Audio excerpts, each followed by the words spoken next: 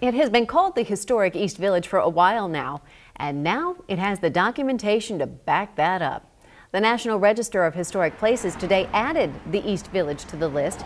The area was originally mapped out back in 1854.